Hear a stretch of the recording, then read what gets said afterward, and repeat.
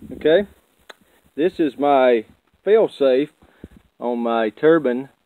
Uh, it's controlled by a governor, electronic governor that controls this actuator right here and moves this little arm back and forth. And if the governor were to fail during flight, then basically the engine throttle goes to idle and there is no control.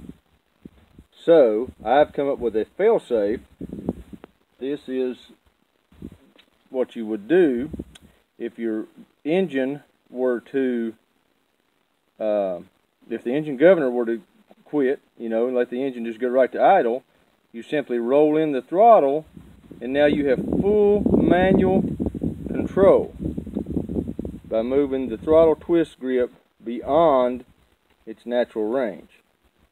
So I can go wide open, back to idle wide open, back to idle.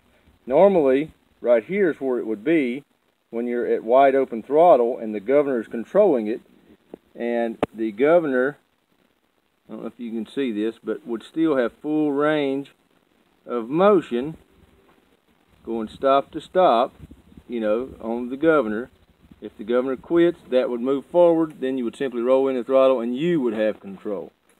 It might be a little tricky to control the RPM, but I'm thinking that this would be eh, better than just having that uh, full out emergency. If the governor quits, you would be able to manually control the throttle and land the helicopter safely.